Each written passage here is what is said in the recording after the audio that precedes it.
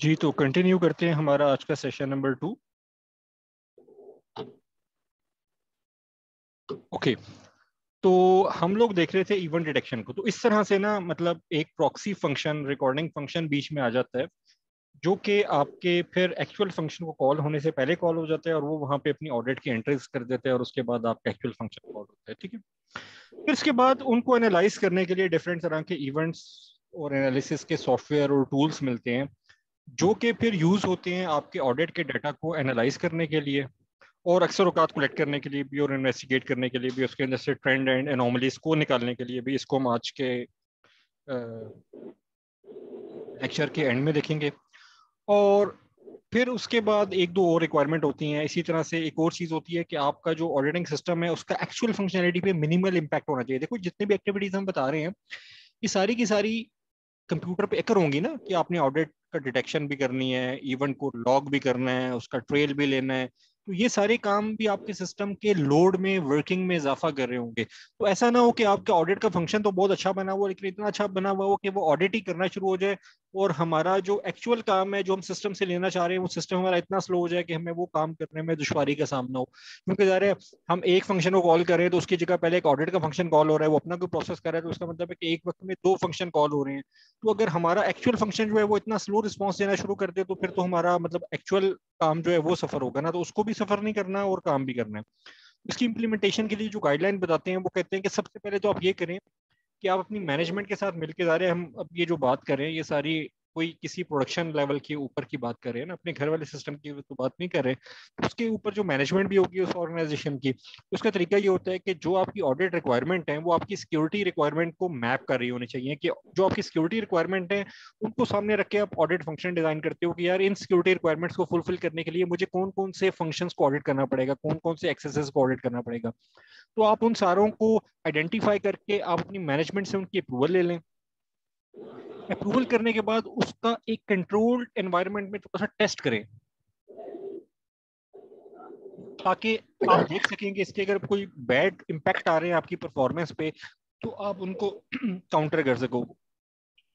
उसके बाद आपका जो टेस्ट है वो रीड ओनली सॉफ्टवेयर और डाटा को जो रीड ओनली एक्सेस करे, क्योंकि उसकी वजह ये होती है कि आपका जो एक्चुअल डाटा है, कहीं ये ना हो कि आप ऑडिटिंग की ट्रेलिंग के दौरान उस डाटा को अगर चेंज कर दे तो ऑटोमेटिकली आपके एक्चुअल वर्क पे इम्पैक्ट आ सकता है।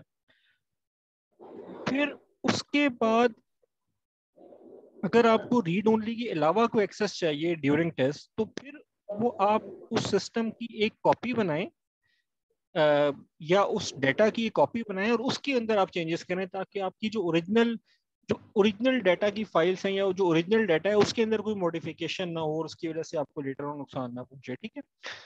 इस तरह से करके आप अपना ना वो सारा सेटअप को एक बार टेस्ट कर लो। उसके बाद अगर आपको और एडिशनल प्रोसेसिंग चाहिए कि आपने उस ऑडिटिंग को आपने प्रोसेस भी करना है एनालाइज भी करना है और उस डाटा के ऊपर से आपने इवेंट्स को भी आइडेंटिफाई करना है सिक्योरिटी के हवाले से तो उसके लिए आप अपनी कोई एडिशनल प्रोसेसिंग की रिक्वायरमेंट को आइडेंटिफाई करके उसके ऊपर एग्रीड करें कि यार ये इसके लिए या तो अलग से कोई सर्वर हो, कोई एनालिसिस का, और उसके ऊपर ये वाले सारे काम हो। और अगर ये आपके मेन सर्वर के ऊपर ये वाले काम होने हैं तो फिर उसका आपको पता हो कि यार इससे इम्पैक्ट आएगा और वो आप अपनी ऑर्गेनाइजेशन की मैनेजमेंट से एग्रीड करवाएँ कि यार देखो, हमारा जो सिस्टम है उसकी यूटिलाइजेशन थर्टी से फिफ्टी परसेंट के दरमियान होती है, लेकिन अगर हम ऑडिटिंग वाला फ़ंक्शन भी इसी सर्वर पे डालेंगे तो इसकी यूटिलाइजेशन सेवेंटी से एटी के दरमियान पहुँच जाएगी। और ज़ाहिर है कि उस सर्वर का जो मेन फ़ंक्शन है, वो भी थोड़ा सा डिस्टर्ब होगा, वो भी थोड़ा सा स्लो डाउन होगा। तो आप इसको, अब आप देख लें कि आप हमें नया सर्वर देंगे या आप इसी पे करवाना चाह रहे हैं। तो उसके मुताबिक अगर वो कहते हैं कि नहीं, इसी पे करवाओ तो कम अज कम मैनेजमेंट की अप्रूवल हो, ताकि कल कल को अगर आपके एंड यूज़र कंप्लेन करते हैं कि हमें सर्विसेज़ स्लो मिल रही हैं तो आप के ऊपर इल्ज़ाम ना आए। आप कहते हैं कि जी, हमने तो पहले कहा था कि इतना लोड आएगा, और आपने कहा था कि नहीं, इस लोड की खैर है, आप इसको इसी मेन सर्वर पे रखो, ठीक है? उसके बाद आपने ये भी ख्याल रखना है कि जो आप ऑडिट की टेस्टिंग कर रहे हैं उस वक्त, उसकी वजह से आप टेस्टिंग कर रहे हैं आपने पहली बार सिस्टम डिज़ाइन किया है, पहली बार उसको चला रहे हैं इट इज़ क्वाइट पॉसिबल कि वो सिस्टम वो इनकी वो जो टेस्ट है, वो आपके सिस्टम को ऑडिटिंग वाला काम बिठा भी सकता है मतलब उसको डाउन भी कर सकता है, या उसकी परफॉर्मेंस को बहुत सिवियरली इम्पेक्ट कर सकता है। तो रिकमेंडेड ये होता है कि आप जब भी ऑडिट की टेस्टिंग करें तो उसको आप ऑफ़ बिज़नेस आवर्स में करें। जैसे for example nine to five business time होता है तो आप रात को आठ बजे के बाद वो टेस्ट रन करें, ताकि अगर किसी को सिस्टम में कोई इम्पैक्ट आता भी है तो उस टाइम चूँकि आपके सिस्टम का कोई यूज़र नहीं होगा एक्टिव बिज़नेस यूज़र एक्टिव नहीं होगा तो उसकी वजह से अगर कोई इम्पैक्ट आ रहा है तो आपको तो पता चल जाएगा, लेकिन उसकी वजह से आपका बिज़नेस खराब नहीं होगा, आपकी ऑर्गेनाइजेशन जो जो सर्विसेज़ प्रोवाइड कर रही है उनमें कोई मसला नहीं होगा। तो ये जो टेस्ट वाला काम होता है, ये कोशिश की जाती है कि आउटसाइड बिज़नेस आवर्स करें, ताकि अगर उसकी वजह से कोई गड़बड़ भी हो जाती है, क्योंकि भी आप टेस्ट करें मैं आपको श्योर नहीं है कि सिस्टम बिल्कुल सही जवाब देगा, या कोई इसके अंदर कोई गड़बड़ भी सामने आ सकती है। तो उस सूरत में आपका इस तरह से कवर अप हो जाए। और उसके बाद आपका जितने भी ऑडिट के हवाले से आपने एक्सेसेस किए उनको भी आपने मॉनिटर और लॉग करना है, ताकि आप ऑडिट के फ़ंक्शन का भी एक ऑडिट ट्रेल रिलीज़ कर सकें। कल कल को अगर आपके सिस्टम में ऑडिट रन करने की वजह से कोई इशू आ रहा है, जो आप टेस्ट रन कर रहे हैं, आप देखना चाह रहे हैं कि टेस्ट सक्सेसफुली रन हुआ है, मेरे सिस्टम पे कितना लोड आया तो उसके लिए आपको इस ऑडिट वाले फ़ंक्शन का ऑडिट वाले टेस्ट फ़ाइल का भी जो ट्रेल चाहिए होगा ना तो उसको भी आप बाकायदा ऑडिट ही ऑडिट फॉर्म में रखें ताकि आपके जितने भी एक्सेसेस हैं उसके हवाले से वो रिकॉर्ड हो रहे हो और उसके बाद आप उस ट्रेल को आइडेंटिफाई करके देखेंगे इस ऑडिट से हमारे सिस्टम के ऊपर क्या क्या फ़र्क है। तो ये सारा वो प्रोसेस था कि जो आपने ऑडिट का जो आर्किटेक्चर है उसको अपने मेन सिस्टम में इंप्लीमेंट कैसे करना है। अब अगर आपने इंप्लीमेंट कर लिया तो अब आपने उसके ऊपर डाटा कलेक्शन करनी है कि यार अब इस ऑडिट के अगेंस्ट मैंने क्या क्या डाटा कलेक्ट करना है। तो जो नॉर्मली जो डाटा कलेक्ट किया जाता है वो कौन कौन सा है? नंबर एक तो ये कि आपके ऑडिटिंग सॉफ्टवेयर के यूज़ को के इवेंट्स को जो है ना कलेक्ट किया जाता है कि सबसे पहले जो देखा जाता है कि यार कौन कौन सा बंदा कब कब ऑडिट का जो सॉफ्टवेयर है उसको यूज़ कर रहा है। फिर उसके बाद आपकी सिक्योरिटी मैकेनिज्म जो आपके सिस्टम पे इंस्टॉल हुए फॉर एग्ज़ाम्पल एंटी वायरसेस लगे हुए हैं, कोई और तरह की चीज़ें लगी हुई हैं, उनके जो इवेंट जनरेट हो रहे होते हैं, उनको लॉक किया जाता है ताकि अगर आपके सिस्टम में कहीं पे वायरस आ रहे हैं तो उसका डाटा या उसकी ऑडिट ट्रेल बन रही हो कि यार कहाँ, कब कब किस किस सिस्टम के ऊपर वायरस आया था। उसके बाद आपके यूज़र के हवाले से या आपके यानी कि आप कह लें कि सिक्योरिटी के डिटेक्शन और प्रिवेंशन के मैकेनिज्म फॉर एग्ज़ाम्पल यूज़र ने लॉगिन किया, उसका यूज़र नेम और पासवर्ड सही नहीं था तो उसको उसको कह दिया गया कि और user name is not correct तो इस चीज़ को भी लॉक किया जाए कि यार ये एक सिक्योरिटी मैकेनिज्म था ना आपका अथेंटिकेशन का। तो अथेंटिकेशन के सिक्योरिटी मैकेनिज्म की जो भी एक्टिविटीज़ होंगी, चाहे यूज़र नेम और पासवर्ड सही दिया जाता है और वो यूज़र लॉगिन हो जाता है, या यूज़र नेम और पासवर्ड गलत देता है तो यूज़र लॉगिन नहीं कर सकता। ये दोनों जो है ये सिक्योरिटी के एक मैकेनिज्म है जिसके थ्रू आप ऑथेंटिकेशन इंश्योर करवाते हो तो इन चीज़ों को भी आपने लॉग करना है। फिर उसके बाद आपकी सिस्टम मैनेजमेंट एंड ऑपरेशन की, यार एक नया यूज़र आपके सिस्टम में क्रिएट किया जाता है या इस तरह का कोई सिस्टम लेवल की कोई ऑपरेशन मैनेजमेंट की जाती है तो उसके जो जो ऑपरेशंस परफॉर्म किए गए हैं, उनके इवेंट्स जो अगर हो रहे हैं, उनको भी आपने उसका ऑडिट ट्रेल के अंदर डालना है। फिर आपका जो ऑपरेटिंग सिस्टम का एक्सेस हो रहा है, उसके हवाले से आपने चीज़ों को नोट डाउन करना है।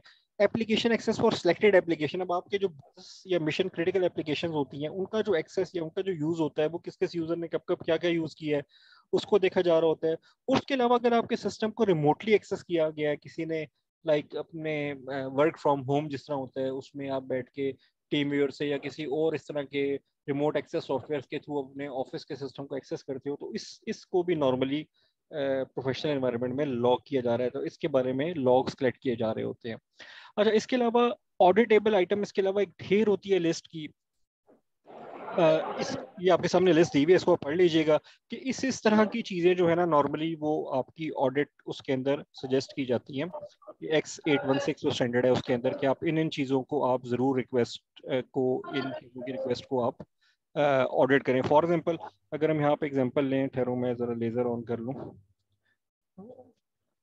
फॉर एग्ज़ाम्पल इसमें ये है ऑथेंटिकेशन वेरीफाई सक्सेस और वेरीफाई फेल ऑथेंटिकेशन से मुराद अगर कोई यूज़र लॉगिन करता है और सक्सेसफुली लॉगिन होता है या फेल लॉगिन होता है तो इसको आप ऑडिट करो, ठीक है?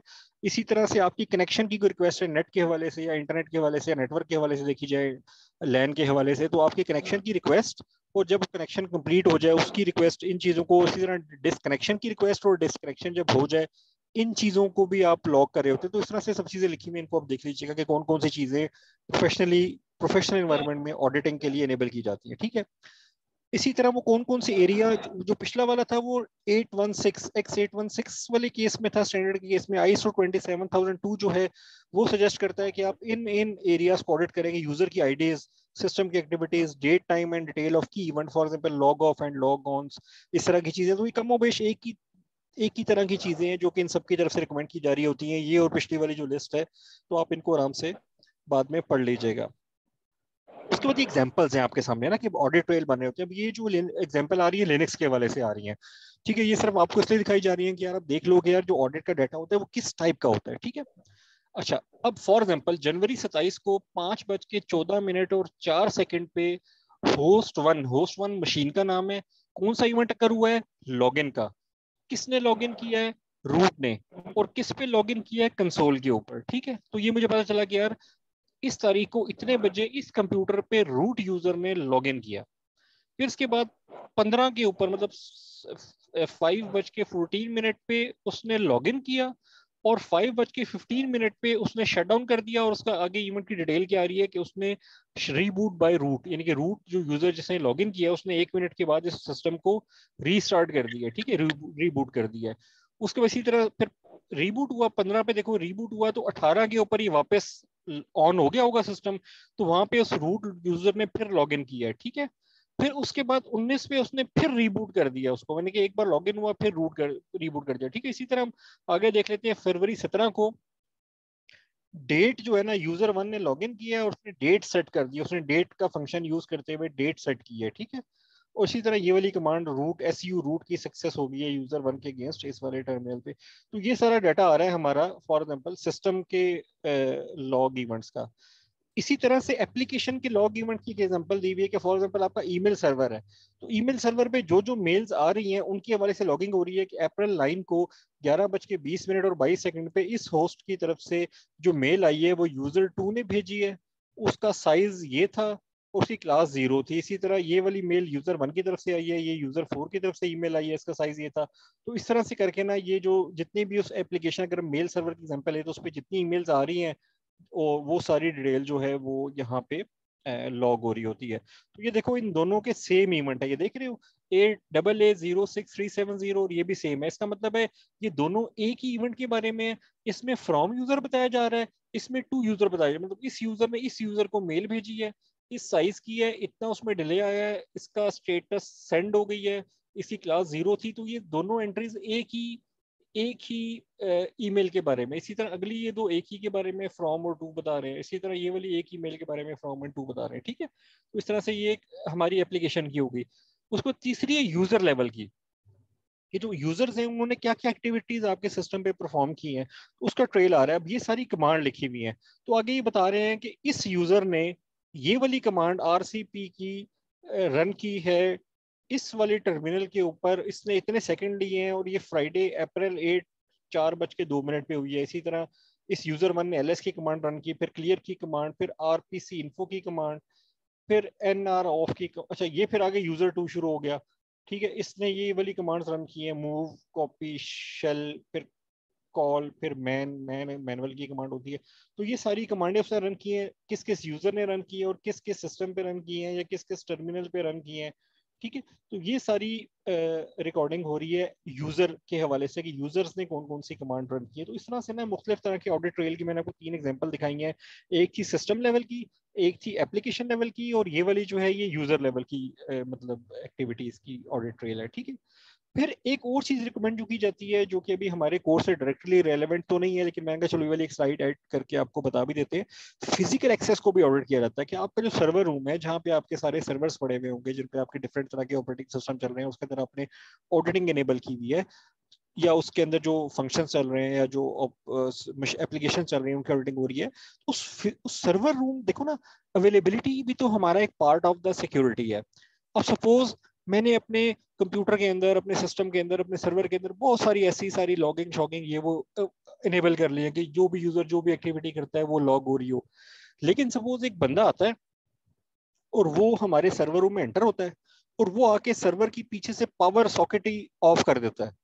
तो अब क्या होगा कि आपका सिस्टम बंद हो जाएगा। अब इस काम की तो लॉगिंग वहाँ पे नहीं जा रही होगी ना। वो जो लॉगिंग हो रही है, वो तो कंप्यूटर के अंदर सर्वर के अंदर के कामों की हो रही है। अब उस बंदे ने जो ही पावर निकाली तो हमारा सिस्टम ऑफ़ हो गया तो इसका मतलब उस बंदे ने हमारे सिस्टम की अवेलेबिलिटी को टारगेट करके उसको डिस्ट्रॉय कर दिया। हमारा सिस्टम अवेलेबल नहीं रहा यूज़र के लिए।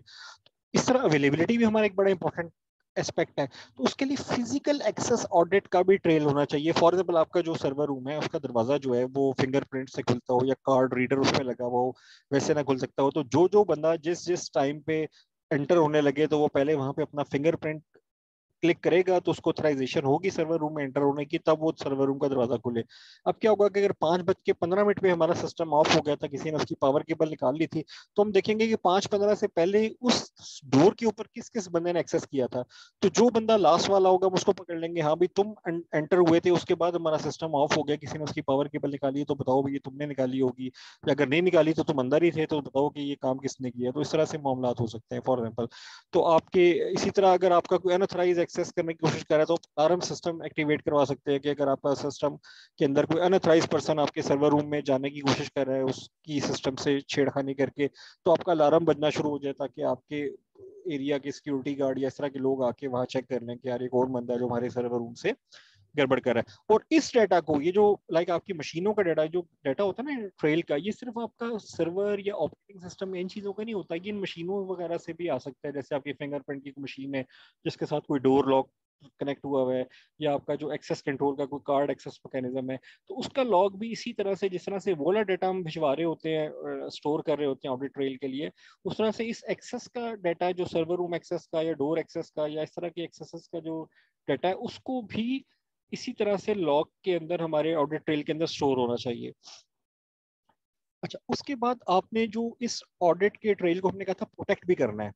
उस प्रोटेक्ट करने के तीन चार तरीके हो सकते हैं। फॉर एग्ज़ाम्पल एक तो ये कि आप अपने होस्ट के ऊपर, अपने सर्वर के ऊपर आप रीड राइट फ़ाइल राइट करते हैं। सबसे आसान तरीका है कि आप का जो भी ऑडिट बन रहा है, उसी सर्वर पे या किसी और सर्वर पे आप फ़ाइल के अंदर राइट करते चले जाए जिस तरह की अभी हमने आपको दिखाई थी एग्ज़ाम्पल डाटा की ऑडिट रेल्स की तो वो डाटा आप फ़ाइल में रीड राइट कर दें।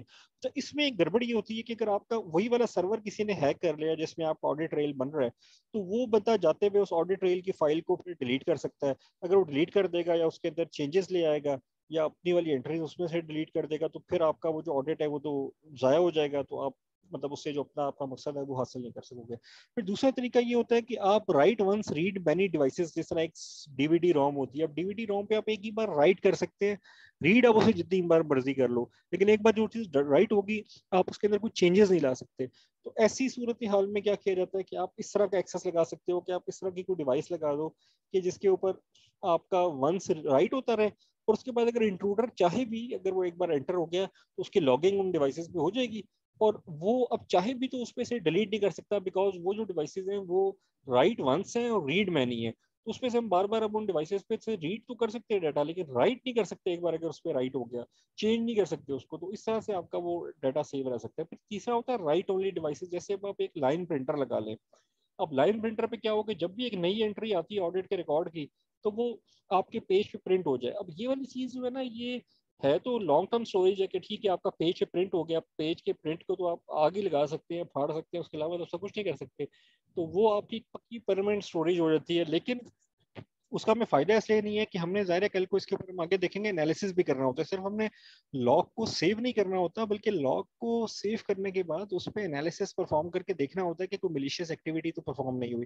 तो पेपर को तो हम अब हमारे पास सामने एक एक हज़ार पेजेस रखने के भाई इसके अंदर चेक करो कि एरर तो नहीं आया हुआ तो एक हज़ार पेजेस को तो मतलब चेक ही नहीं कर सकते उस तरह ह्यूमनली अगर चेक करें भी तो तीसरे सफे पे जाके उसका रिलेशन हम पहले सफे वाले से कैसे बनाएँगे? हमें जहन में नहीं होगा कि हमारे पहले सफे में इस तरह की कोई एंट्री आई हुई है। तो इस वजह से ये इस काम के लिए होता है कि जैसे बैंकिंग सेक्टर या कुछ सेक्टर ऐसे होते हैं जहाँ पे वो कहते हैं कि आपकी रिक्वायरमेंट है कि आप पेपर लॉग भी रखो। तो ये उनकी उस रिक्वायरमेंट को पूरा करने के लिए होता है, ठीक है?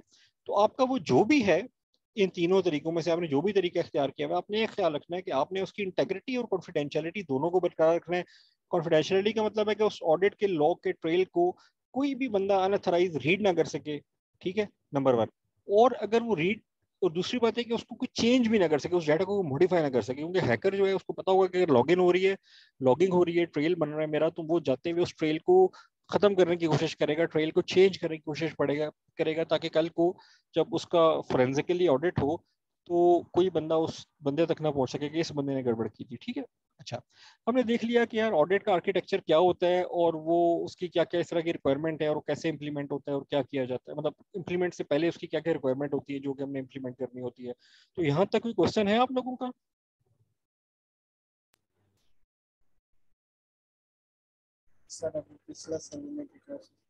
सॉरी बिलाल, ऊँचा बोलो, आवाज़ नहीं सही आ रही आपकी। क्या कह रहे हो? सर, अभी पिछला कोप अप करने की कोशिश कर रहे हैं।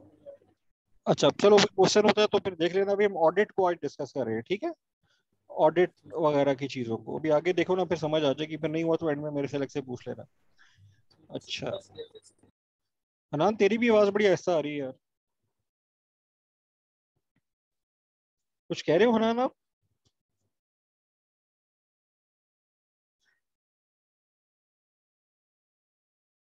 अच्छा चलो आगे चलते हैं। अच्छा अब हम देखेंगे कि यार इस ऑडिटिंग को हम इम्प्लीमेंट लॉगिंग को इम्प्लीमेंट कैसे करते हैं? तो सबसे पहले जो इसके स्टेप होते हैं, वो तो अपने ऑडिटिंग की एक फैसिलिटी बनानी है, जिसमें आपका ऑडिट का डाटा इम्प्लीमेंट हो रहा हो, ठीक है? फिर आपने, जैसे हमने शुरू में कहा था कि कुछ हुक्स इम्प्लीमेंट किए जाते हैं कैप्चर पॉइंट्स होते हैं, जो कि आपकी डाटा को कलेक्शन को भी एक्टिवेट करते हैं डाटा कलेक्शन भी स्टार्ट करवाते हैं, और उसके बाद उसको स्टोर भी करवाते हैं।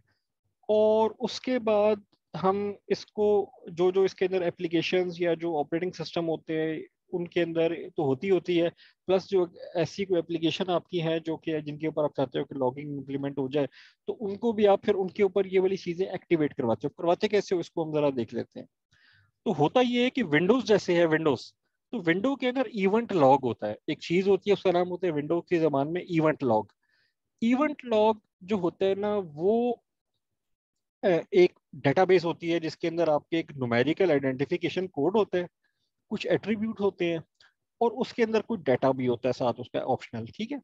अब इसमें ना तीन तरह के इवेंट लॉग होते हैं, एक होता है सिस्टम का, एक होता है एप्लीकेशन का, एक होता है सिक्योरिटी का, ठीक है? तो ये विंडोज़ होती है, वो तीन कैटेगरीज में अपने लॉग को डिफाइन कर रही होती है। एक तो सिस्टम लॉग सिस्टम लॉग में जितने भी आपके सिस्टम रिलेटेड एप्लीकेशन ड्राइवर और उनके एक्शन होते हैं, वो आते हैं। एप्लीकेशन में जो यूज़र लेवल के ऊपर एप्लीकेशन चल रही होती है, उनका लॉगिंग हो रही होती है और सिक्योरिटी के अंदर जो है ना एक विंडो एल होती है लोकल सिक्योरिटी एनालाइजर तो वो आपके विंडोज़ के अंदर के जो इवेंट्स होते हैं, उनको मॉनिटर करता रहता है। ठीक है, इसके हम एग्ज़ाम्पल देख लेते हैं क्या क्या होती है। तो इसके अंदर ना बहुत सारे मतलब एलिमेंट्स होते हैं, बहुत सारे एलिमेंट होते हैं। अगर आप वो सिक्योरिटी इवेंट मॉनिटर खोलो ना तो उसके अंदर देखोगे तो आपको ढेर ऑफ़ द वो नज़र आ रहा होगा। मैं जरा क्लास खत्म होती है तो मैं कोशिश करता हूँ आपको अपने कंप्यूटर के ऊपर वो विंडो सिक्योरिटी इवेंट एनालाइजर दिखा भी दूँ एक नज़र ना, कि किस तरह का होता है। तो इसके अंदर क्या क्या चीज़ें आ रही होती हैं कि आपका सबसे पहले तो property value of the event आ रही होती है, फिर उसके बाद उसका विंडो के इवेंट लॉग का बाइनरी डाटा आ रहा होता है, उसके बाद वो किस एरिया में वो इम्प्लीमेंट हो रहे हैं, सारी डिटेल्स में यहाँ पे लिखी हुई आप इसको आराम से रीड आउट कर लेना। एक्चुअली हम इसका मकसद देखते हैं, क्योंकि मेरे पास टाइम कम होगा, हमने मतलब लेक्चर खत्म भी करना है अपने गिवन टाइम में। तो इसके अंदर होता यह है कि आपके ना जितने भी इवेंट्स अकर हो रहे होते हैं, उनकी कुछ कैटेगरीज बनी होती हैं, जो कि एंड में जाके उन मेजर तीन कैटेगरी से लिंक हो जाती है, जो कि अभी हमने पीछे अभी डिफाइन की थी ये वाली। ये वाली सिस्टम की एप्लीकेशन की और सिक्योरिटी की। तो होता ये है कि यार आपका जो आप, उसके बाद ना कुछ चीज़ें आप खुद भी कन्फिगर कर सकते हो। फॉर एग्ज़ाम्पल आप कहते हो कि जब भी मेरा एम एस का डॉक्यूमेंट चले तो मेरी ना उस इवेंट लॉग में एक एंट्री आ जाए कि यार ये एम एस इस यूज़र ने चलाया फॉर एग्ज़ाम्पल ठीक है? तो इस तरह से करके आप अपनी मर्ज़ी के इवेंट्स भी डिस्क्राइब कर सकते हो और उसके अलावा कुछ ऐसी चीज़ें होती है जो विंडोज़ में होती है, लेकिन वो एक्टिव नहीं होती। फॉर एग्ज़ाम्पल विंडोज़ जो होता है ना फेल्ड लॉग इन अटेम्प्ट को तो लॉग कर रहा होता है डिफ़ॉल्ट में, लेकिन सक्सेसफुल लॉग इन अटेम्प्ट को एक यूज़र एक यूज़र ने अपना यूज़र नेम और पासवर्ड दिया और वो लॉग इन हो गया, उसको बाज वो नहीं कर रहा होता। तो अगर वो नहीं कर रहा और आपके ऑर्गेनाइजेशन की रिक्वायरमेंट है तो आप उसको जाके इनेबल कर सकते हो। वहाँ से, ठीक है? तो इस तरह से करके जो आपकी अपनी एक्चुअल सिक्योरिटी रिक्वायरमेंट्स होती है, उनको सामने रखते हुए आप विंडोज़ इवेंट जो है, उनको एक्टिवेट करते हो, ठीक है? तो ये सारी वही डिटेल दी हुई है कि यार ये कौन कौन से इसके अंदर इवेंट्स हैं और वो किस किस तरह से एक्टिवेट किस किस तरह से एक्टिवेट तो नहीं लिखा हुआ, लेकिन बेसिकली उसकी सारी डिटेल दी हुई है। एक्टिवेट करने के लिए आप जो है ना, वही एल एस ए खोलते हो और एल एस ए के अंदर जाके इनेबल और डिसेबल कर देते हो। जो जो चीज़ें आपको चाहिए होती है, उनको आप इनेबल कर देते हो। तो उसके बाद वो जो लॉगिंग है, वो स्टार्ट हो जाती है। अच्छा ये एक सैंपल के तौर पर एक एंट्री दी हुई है। इसकी जो टाइप है, वो सक्सेस ऑडिट है यानी कि किसी काम के हो जाने पे उसको, उसकी उसकी लॉगिंग की जाए। ठीक है, इसके जो टाइप है, वो तीन में से सिक्योरिटी टाइप है। ये वाली, जिस हमने कहा था एप्लीकेशन है और सिस्टम है और सिक्योरिटी है। और इसकी आगे कैटेगरी आ रही है इवेंट आईडी आ रही है, इसका टाइम आ रहा है, इसका डेट आ रही है, उसके बाद किस यूज़र ने काम किया है, किस कंप्यूटर के ऊपर किया है, उसका नाम क्या था कंप्यूटर का? और इसकी डिटेल आ रही है तो डिटेल क्या आ रही है? The audit log was clear यानी कि इस, ये जो ऑडिट लॉग को इस टाइम पे किसी ने क्लियर किया है, तीन छः दो हज़ार छः को दो बज के छप्पन मिनट पे इस कंप्यूटर के ऊपर इस यूज़र ने आपका जो इवेंट लॉग है वो क्लियर कर दिया। ठीक है, और बाकी इसकी जो क्लाइंट यूज़र नेम आ रहा है यूज़र के क्लाइंट लॉगन आईडी जो उसकी लॉगिंग आईडी थी, वो ये बन रही है इसी तरह, जो प्राइमरी यूज़र नेम सिस्टम है और क्लाइंट डोमेन जो है वो कैंट है। तो ये सारी एक इवेंट के बारे में डिटेल आपके पास आ रही होगी, ठीक है? और विंडो इस तरह की जो कैटेगरीज है, वो बहुत सारी होती हैं कैटेगरीज इसकी कौन कौन सी होती हैं? अकाउंट के लॉगिन के इवेंट हैं। लॉगिन सक्सेसफुल हो गया लॉगिन फेलियर हो गया, कितनी बार हुआ, किस टाइम पे हुआ अकाउंट की मैनेजमेंट है कि आपने एक अकाउंट नया बनाया, उसको डिलीट किया, उसको राइट्स दिए।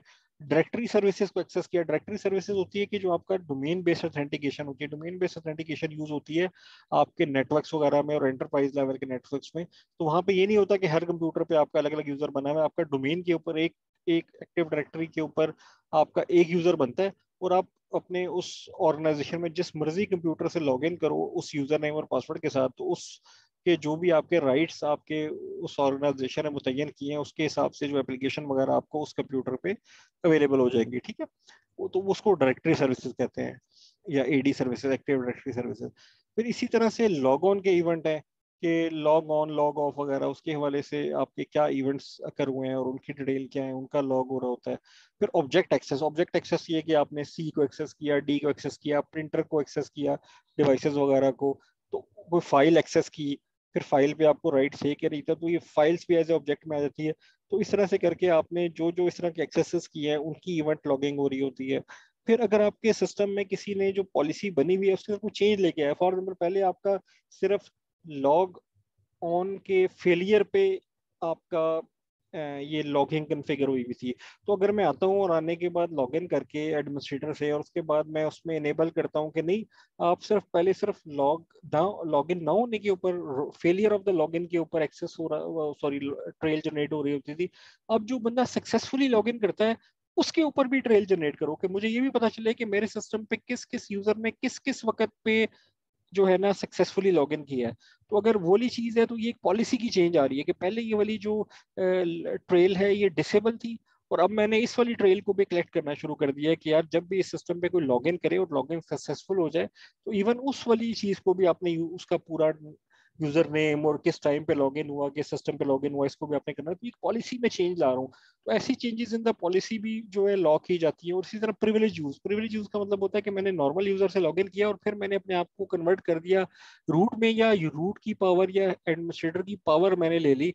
तो इस तरह का एक नॉर्मल यूज़र का जो प्रिविलेज एक्सेस यूज़ होता है, उसके ऊपर भी जो है अलग से लॉग इन हो रही हो तो इस तरह से मुख्तलिफ़ तरह की चीज़ें होती है। ये हमने जो पिछला सारा देखा था, ये सारा विंडोज़ के हवाले से और विंडोज़ की जो ये जो ये ऑडिटिंग होती है, उसको कहते हैं विंडोज़ इवेंट लॉग या इवेंट मैनेजर तो उसके हवाले से हमने चीज़ें देखी थी। अब हम आगे देखने लगे यूनिक्स कैसे ये वाले काम कर रहा होता है। तो यूनिक्स के अंदर एक जनरल पर्पज लॉगिंग मैकेनिज्म होता है, जिसका नाम होता है सिस लॉग और ये तकरीबन सभी लिनक्स और यूनिक्स के वेरिएंट्स के अंदर फाइंड होता है। इसमें क्या क्या होता है? सबसे पहले तो एक सिस लॉग की एपीआई होती है उस सिस लॉग की जो एपीआई होती है एक्चुअली सबसे पहले होता है उस सिस लॉग का डेमन होता है। डेमन का मतलब है सिस लॉग का सर्वर तो ये वो बेसिकली सॉफ्टवेयर होता है सर्वर सॉफ्टवेयर के, जिसका काम ये है कि ये या तो जो अगर ये सर्वर साइड पे चल रहा है तो ये क्लाइंट से सिस लॉग की एंट्रीज को, या ऑडिट रेल की एंट्रीज को रिसीव करता है और अपने पास स्टोर करता है। और अगर ये क्लाइंट साइड में लगा हुआ है तो ये उस अपने सर्वर को अपने लॉग की एंट्रीज भिजवाता है नंबर वन इसकी जो कन्फिग्रेशन होती है सिस लॉग डी की, वो इस फ़ाइल के अंदर होती है स्लैश ई टी सी में सिस लॉग डॉट कॉन्फ में। इसके अंदर वो सारी कन्फिग्रेशन पड़ी होती है, जो कि आपके सिस लॉग डेमन को भी कंट्रोल करती है, और आपके कौन कौन से वाले चीज़ों की ट्रेल बनेगी, उस तरह की चीज़ों को भी देख रही होती है। फिर अगर आपने खुद से कोई एंट्री करवानी है ऑडिट के टेबल में तो उसके लिए आप लॉगर यूज़ करते हो। तो लॉगर जो होता है ना, वो ये काम करता है कि वो आप लॉगर को आगे जो भी डाटा देते हो, वो जाके आपके सिस लॉग की एंट्री में ऑडिट ट्रेल एंट्री में सेव हो जाता है। ये उस मकसद के लिए होता है कि जब आपने कोई अपना सॉफ्टवेयर लिखना है तो उसको आप कमांड के थ्रू आप उस सॉफ्टवेयर के अंदर कुछ एक्शंस को लॉग करवाना चाह रहे हैं सिस्टम के तो आप लॉगर की कमांड एग्जीक्यूट करवाते हो और लॉगर की कमांड से होता है कि उसको आप जो भी मैसेज पास करोगे, वो जाके यूनिक्स के या लिनक्स के जो सिस लॉग का सर्वर है, उसके अंदर एज ए सिक्योरिटी इवेंट या जो भी इवेंट आपने उसको डिसाइड किया है, वो एज ए वो इवेंट जाके वहाँ स्टोर हो जाएगा कि ये इवेंट आपके सिस्टम में कर हुआ है। अच्छा उसके बाद जो सबसे आखिरी पॉइंट है वो है सिस लॉग ये एक एपीआई है। तो जिस तरह से आप लॉगर की कमांड को यूज़ करते हैं, उस तरह से इस एपीआई में मुख्तलिफ़ फ़ंक्शन दिए होते हैं, जिनको यूज़ करते हुए आप वही अपनी ऑडिट की जो डिटेल्स हैं, उनको आप अपने सिस लॉग को भिजवा सकते हो, ताकि वो उनको ऑडिट कर ले। उसके बाद बेसिकली इसकी कौन कौन सी सर्विसेज़ होती है? पहली बात तो ये कि करता क्या है? ये आपके इवेंट्स को कैप्चर करने का एक तरीका कार है। एक स्टोरेज फैसिलिटी भी है, क्योंकि आप उसको ना सिर्फ़ आपको सिस्टम के इवेंट्स को लॉक करने का तरीका कार प्रोवाइड करता है, बल्कि साथ स्टोरेज और वो सारी फंक्शनैलिटी भी देता है, जहाँ पे आपके वो प्रॉपर जाके वो ऑडिट ट्रेल सेव हो रही होती है। और फिर उसके बाद इसका एक अपना प्रोटोकॉल है, जिसके थ्रू ये ट्रांसमिट करता है, उस सिस्टम की जो लॉग्स है या जो सिस्टम की ट्रेल्स हैं, उनको एक कंप्यूटर से दूसरे कंप्यूटर में या एक मशीन से दूसरे कंप्यूटर की मशीन में या आपके क्लाइंट्स की मशीन से आपके सर्वर के ऊपर। ठीक है तो तीनों काम कर रहा होता है। सबसे पहले तो आपको ये इवेंट पकड़ने में मदद देता है इवेंट को का ट्रेल लेने में मदद देता है नंबर दो ये उस ट्रेल को ये स्टोर करता है अपने पास, अपने खास फॉर्मेट में, और नंबर थ्री ये कि इसको ये फिर सर्वर तक सेंड भी करता है। और सर्वर पे भी सिक्स लॉक चल रहा होगा, जो कि क्लाइंट से आने वाले डाटा को रिसीव करेगा और फिर स्टोर करेगा अपने पास जो मौजूद डेटाबेस में स्टोरेज में। उसके अलावा इसके अंदर और भी चीज़ें ऐड ऑन की जा सकती हैं एज ए एक्स्ट्रा फंक्शनैलिटी के तौर पे। वो क्या क्या है? आप उसके अंदर फिल्टरिंग मैकेनिज्म इंट्रोड्यूस करा सकते हैं ताकि उसकी मदद से आप बड़े ज़बरदस्त किस्म के फ़िल्टर लगा के अपने रिक्वायर्ड डाटा तक पहुँच जाए। फिर आप लॉग के एनालिसिस की फंक्शनलिटी इसमें दे सकते हो। आप इवेंट का रिस्पॉन्स एक्टिवेट करवा सकते हो कि जब भी यार ये वाला इवेंट अगर हो फॉर एग्ज़ाम्पल एक यूज़र है, वो तीन बार रॉन्ग पासवर्ड देता है तो हम सिक्योरिटी के तौर पे चाहते हैं कि उसका एक घंटे के लिए यूज़र ब्लॉक हो जाए, वो लॉग इन ना कर सके। इस तरह का इवेंट आपने अक्सर देखा होगा कि आप किसी अच्छी वेबसाइट पे जाएँ और वहाँ पे लॉग इन करें और लॉग इन करने के बाद लॉग इन करने की कोशिश करें और तीन बार रॉन्ग पासवर्ड दें तो कहता है कि यार आपका अकाउंट जो है थोड़ी देर के लिए लॉक हो गया तो आप पंद्रह मिनट के बाद आए, उसके बाद आपको दोबारा इजाज़त मिलेगी कि आप ये दोबारा करें।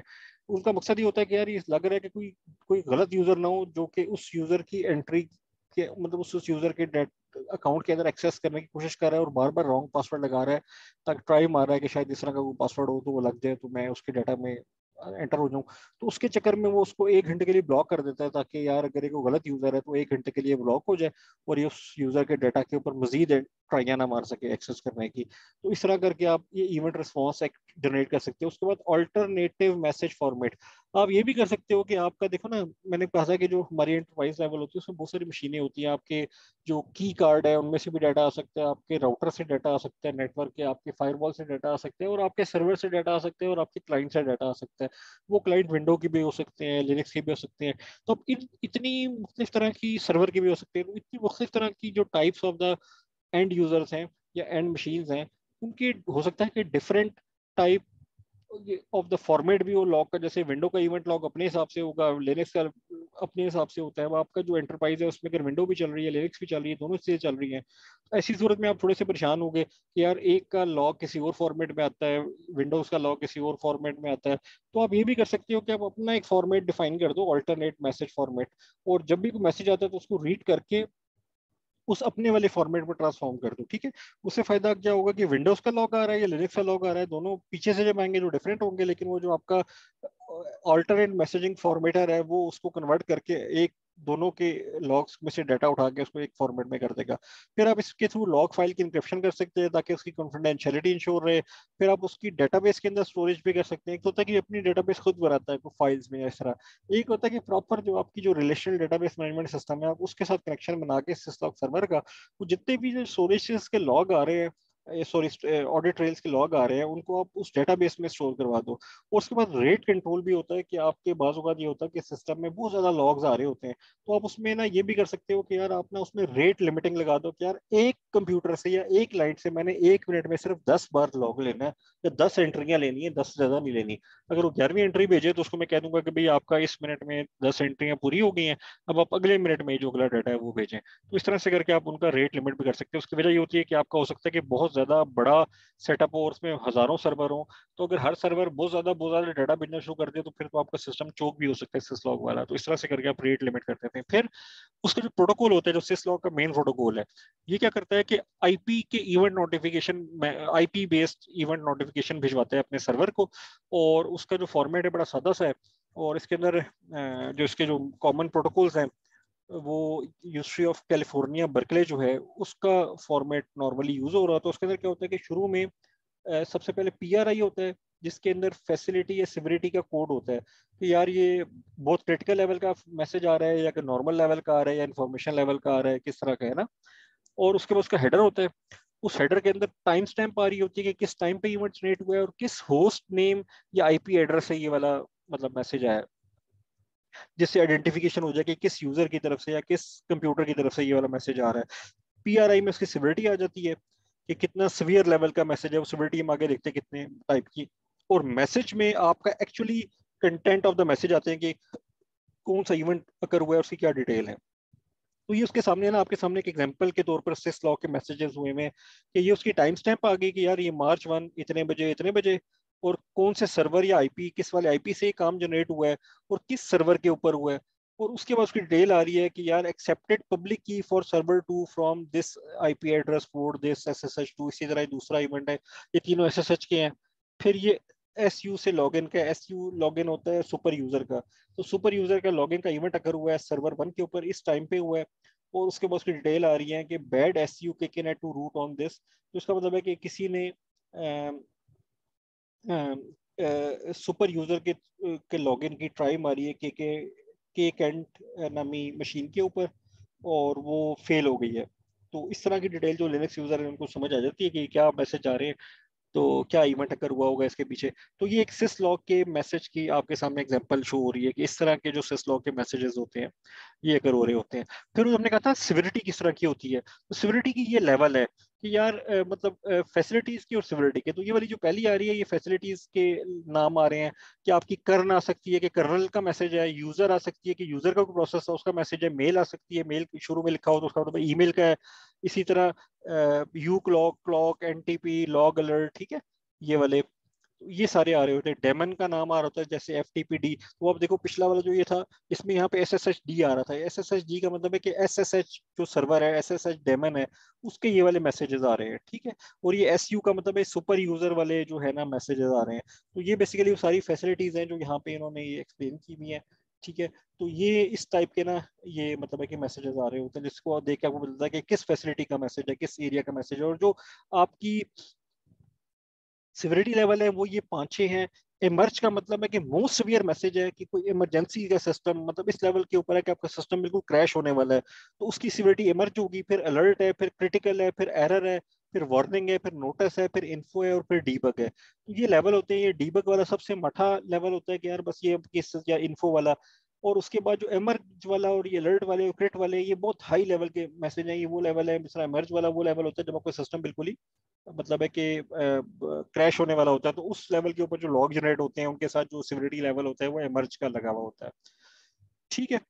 और उसके बाद लॉगिंग एट एप्लीकेशन लेवल अच्छा ये तो सारे थे सिस्टम लेवल के, ठीक है? फिर उसके मतलब अपने, जिस तरह हमने कहा था कि उसकी सिस लॉग की एपीआई भी होती है और सिस लॉग का वो एक लॉगर की कमांड भी होती है, उसके थ्रू आप अपनी एप्लीकेशन लेवल के ऊपर भी लॉगिंग जनरेट करवा सकते हो कि वहाँ से आप जो है ना ऑडिट का डाटा उसको दो एपीआई के थ्रू या उस कमांड के थ्रू और वो डाटा जाके आपके सिस लॉग के सर्वर के अंदर स्टोर हो जाए। तो इसके अंदर आप मुख्तलिफ़ तरह की आइडेंटिफिकेशन कर सकते हो। भाई, आपकी अगर अपनी एप्लीकेशन है, उसकी आप लॉगिंग करवाना चाहें तो आपको पता होगा कि आप, आपकी एप्लीकेशन में वो कौन कौन से चीज़ें हैं जो आपके लिए क्रिटिकल हैं और आप उनको लॉग करवाना चाहोगे। तो अभी ये एक मिनट के अंदर अंदर ये हमारी ख़त्म हो जाएगी, और फिर हम पाँच मिनट की ब्रेक लेके छः चालीस हो रहे हैं छः बज के पैंतालीस मिनट पे ना ये फिर से कंटिन्यू करेंगे अपना ये जो सेशन है।